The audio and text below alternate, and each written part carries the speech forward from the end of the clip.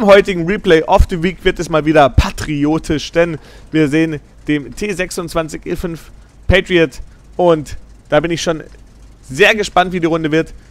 Geht deinen Namen tanzen, hat hier das Ganze gespielt und wie gesagt, reines Achtergefecht. Also von dem her nicht zu leicht, denn als Top-Tier, wenn es jetzt ein 8er, 7er, 6er Gefecht zum Beispiel wäre, da würde es sich nochmal leichter tun. Aber ein reines Achtergefecht macht schon mal Spaß und dann auch noch die Karte, denn er kann hier jetzt perfekt mit seiner Gun Depression und mit seinem verhältnismäßig starken Turm da arbeiten. Das wäre mit manch anderen Panzer dann deutlich anders und auch deutlich schwieriger. Jetzt schauen wir mal, wie er das hier macht. Aber ja, ich habe mir schon fast gedacht, dass er sich hier auf diesen Hügel bzw. diese Anhöhe begeben wird. Und da versucht, den einen oder anderen Schuss rauszubekommen. Man sieht schon die Kanone wie sie dann sozusagen am Start ist. Scorpion G kriegt er da auf, aber versemmelt nochmal. So, jetzt ein bisschen länger einaimen und da kettet er ihn auch. Und aktuell gibt es hier kaum Gegner, der VK. So, nochmal einen. Da hat er schon mit HE geschossen, aber hat halt nicht richtig getroffen. Sonst hätte er mehr Schaden gemacht. Jetzt aber, deswegen jetzt 3,37. So, jetzt denkt sich der Scorpion langsam, oh, ist mir jetzt wohl zu doof. Jetzt braucht er noch einen Schuss und dann hat er es schon geschafft mit Auto-Aim drauf und perfekt gemacht. Der FCM hätte zeitlich seinen Turm beschießen können, deswegen ging da der Hit so einfach durch. Aber genau das war das, was ich halt gesagt habe. Er kann erstmal mit seinem Turm einfach hier gut wirken. Jetzt geht er für die Kommandantenkuppel. Auch da schön getroffen, den Tiger 2. Und nochmal, ja Wahnsinn. Den hätte ich nicht mehr gedacht, dass er den noch so platziert, aber kein Problem für ihn. Das, den bratzt er einfach raus. Kann man mal machen.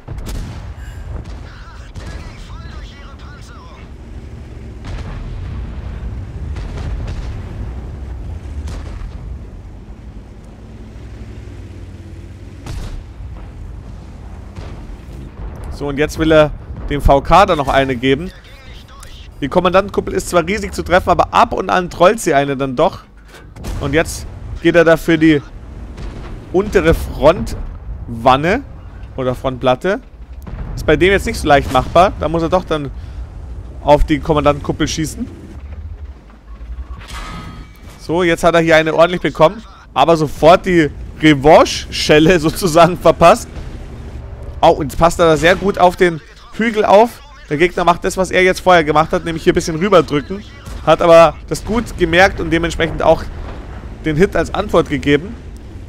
Ist es aber wichtig, dass hier einer steht, weil sonst ist sein Team da aufgeschmissen.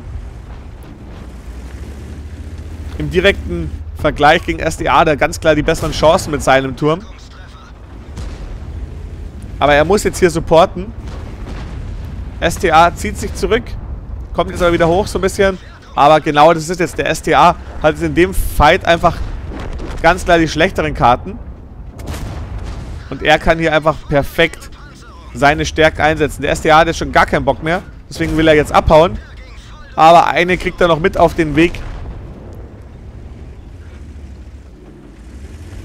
Und jetzt kommt er hier vielleicht gleich auf den VK drauf. Also da muss er noch aufpassen. Da auf C2, B2, da sind noch einige Gegner. Nicht, dass er da sich irgendwie doof überraschen lässt. Ja genau, schön, Auto-Aim direkt schnell drauf. Gar nicht lang aimen, bei der Distanz kein Problem, seitlich. So, und jetzt der STA. Aue, der Tiger, der hat da jetzt den zurückgegeben. Jetzt kommt er auf den Ho drauf. VK hat ihn da auch auf dem Zettel. Jetzt muss er aufpassen. Er hat nur noch 317 Hitpoints. 317 Hitpoints würde halt bedeuten, ein guter Treffer und dann Tschüssikowski.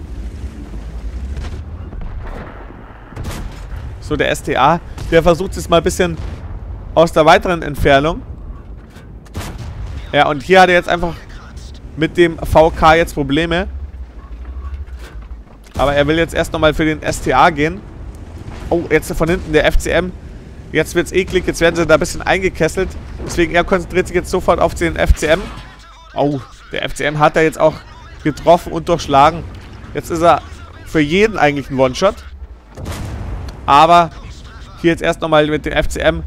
Der FCM fährt jetzt hier nicht drauf, sein Fehler. Dementsprechend kann er mit seiner Panzerung und seinem Turm arbeiten. Der FCM hat da halt nichts. Dementsprechend konnte er das jetzt klären. Sehr schön gemacht. sehr gut aufgepasst auch. Hätte auch noch anders laufen können, nämlich.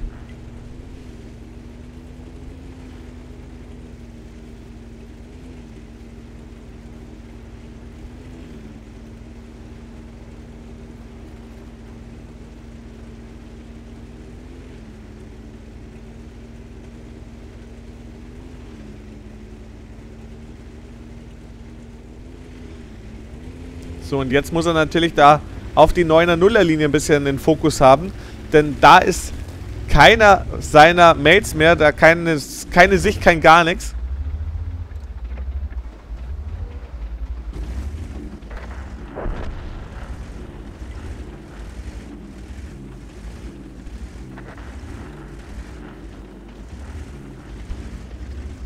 Aber er hat halt jetzt auch nicht so hier die Möglichkeit, jetzt ganz viel aggressiv zu spotten, denn er ist halt so gut wie raus, wenn er das machen würde. Der Super Pershing steht jetzt aber im Cap. Dementsprechend hat er da jetzt was, worauf er sich da stürzen kann. Auch seitlich das schön zu beschießen.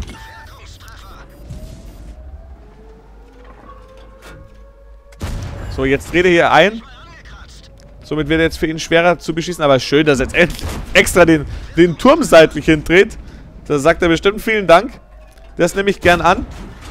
Denn so kann er da entspannt den Schaden anbringen, der sonst ein bisschen schwieriger geworden wäre. So, jetzt hält er auf den Turm drauf. Jetzt hat er den leider nicht mehr so schön seitlich wie davor.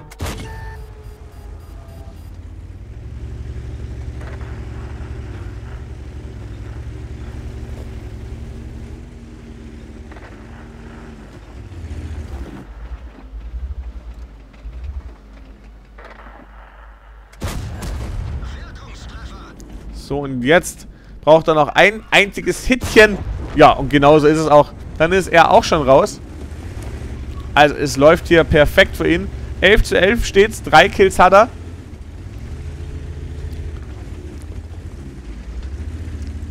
Also von dem her sehr, sehr knappes Ding bis dato.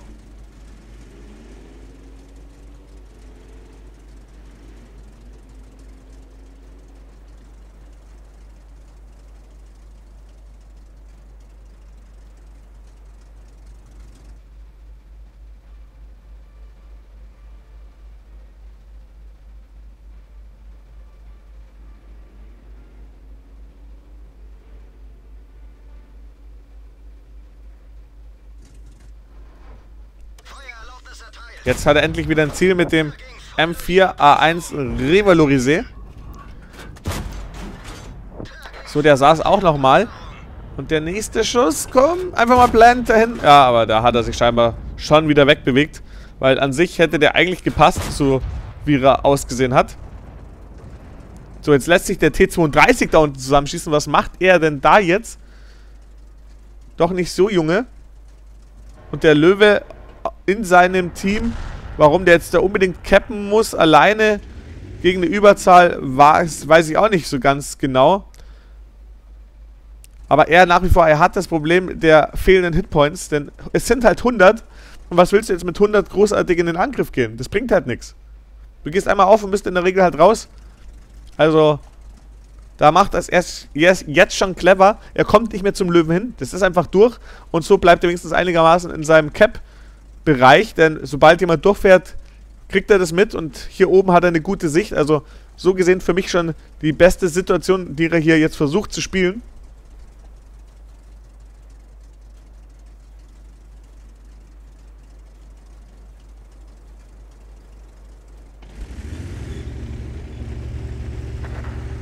Naja, und genau jetzt ist das passiert, was nicht hätte passieren sollen.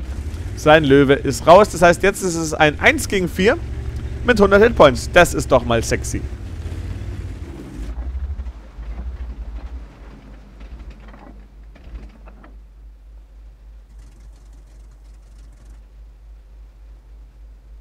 So, jetzt kriegt er da den STA. Wie gesagt, muss da aufpassen, nicht zu viel riskieren. Schön lange warten und genau, perfekt gemacht sich den Kill gesichert. Jetzt ist er offen. Jetzt weiß natürlich jeder, wo er ist. Und jetzt muss er hoffen, dass der Gegner einfach, ehrlicherweise, ein bisschen strunzblöd ist und dann nacheinander kommt und halt auch, dass die low sind. Weil klar, wenn die jetzt alle rappelvoll sind, dann hat er keine Chance mehr.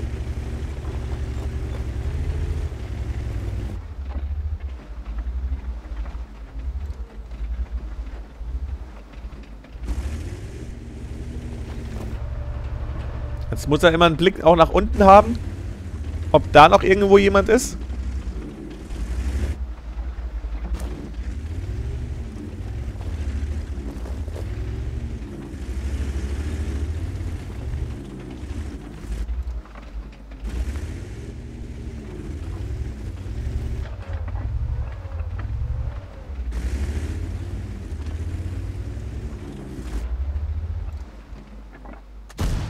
Und jetzt da mit dem T25 Pilot, da geht er wieder auf, aber wir sehen, der Ref hat nicht mehr viel. Sehr schön, den direkt rausgenommen.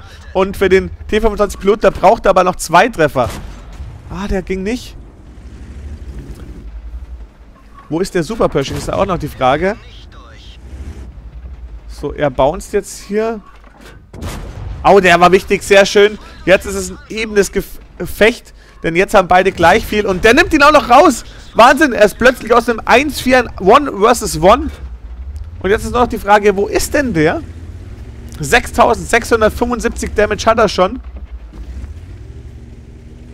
Wo ist der Super Pershing? Da kommt er an und der ist ja noch voll. Das gibt's ja nicht. Der ist ja noch fast voll.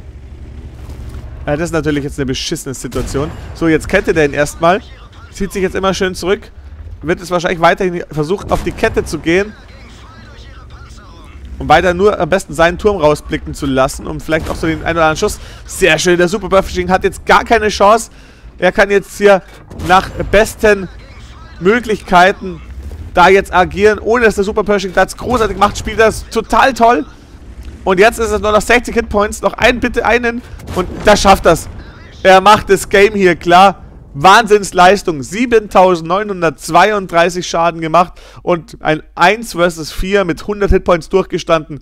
Das sind 2250 Basis-XP und eine unfassbare Ausbeute an Credits dank Reserven und dem Bollwerk. Ja, besser konnte man es nicht machen. Für mich ein absolut verdientes Replay of the Week. Ich hoffe, ihr seht das ähnlich.